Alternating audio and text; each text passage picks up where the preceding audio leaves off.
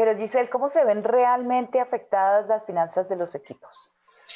Los equipos y los clubes en general tienen una dinámica que es como circular. Entonces yo ofrezco un espectáculo, el hincha compra la boleta, esa plata entra al club y con eso pago sueldos. En este momento toda esa cadena, ese círculo está detenido, entonces no, no hay ingresos y no se generan ingresos por ninguna parte. Pero quiero presentarle a Ana María e invitar a Janjane Meneses, una colega, comentarista y presentadora de deportes que nos está acompañando también en esta conversación desde su casa y ella tiene unas cifras que realmente son muy aterradoras frente a lo que está pasando en los deportes de grandes eventos y grandes ligas. Janjane, buenas noches.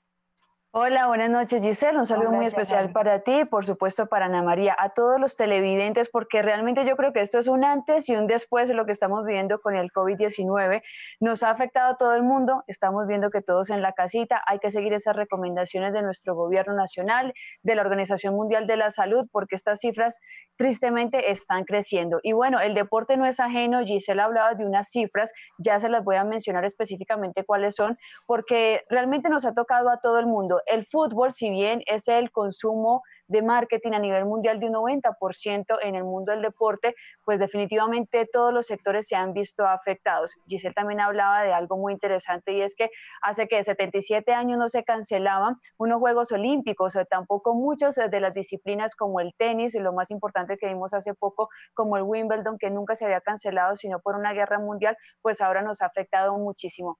Y dentro de esas cifras, Giselle, quiero remitirme inmediatamente con lo que ha sucedido en la NBA, por ejemplo, en el deporte entre 500 mil millones de dólares. Cada equipo está dejando de ganar 2 millones por juego en todo este concepto. En la Liga de España, si ya nos metemos en el fútbol, las pérdidas por la taquilla está de 42 millones de euros pérdidas por derechos de televisión, 526 millones de euros, eso contando hasta el momento. Hay que esperar cómo va a evolucionar esto. En la Liga Colombiana, en el fútbol, las pérdidas totales hasta el momento van en 80 mil millones de pesos. Este es un dato de la DIMAYOR.